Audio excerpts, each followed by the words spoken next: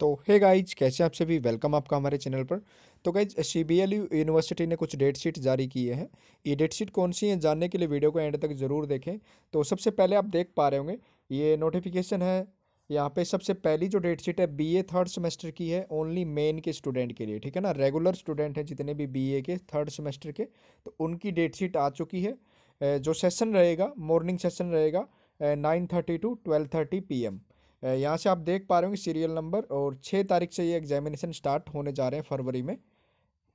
उसके बाद देख लेते हैं सेकंड डेट शीट कौन सी है।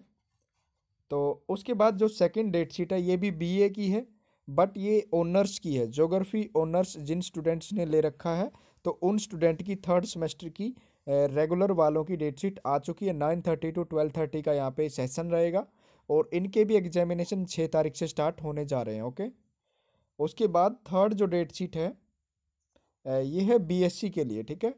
BSc medical non medical computer science और एक्चुरियल साइंस ये है फ़र्स्ट सेमेस्टर ठीक है? फ़र्स्ट सेमेस्टर ओनली और रेगुलर के लिए. Nine thirty to twelve thirty यहाँ पे सेशन रहेगा और सात तारीख से इनके एग्जामिनेशन स्टार्ट होने जा रहे हैं, ठीक है? तो इसको आप डाउनलोड कर सकते हैं वीडियो में इसका लिंक आपको मिल जाएगा। और या आप ऑफिशियल वेबसाइट पर भी विज़िट कर सकते हैं वहाँ से भी इसको डाउनलोड किया जा सकता है।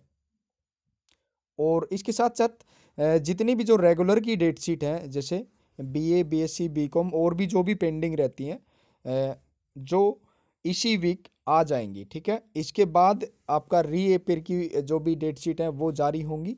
अभी तक आई थिंक री अपेयर के फॉर्म भरे नहीं गए हैं।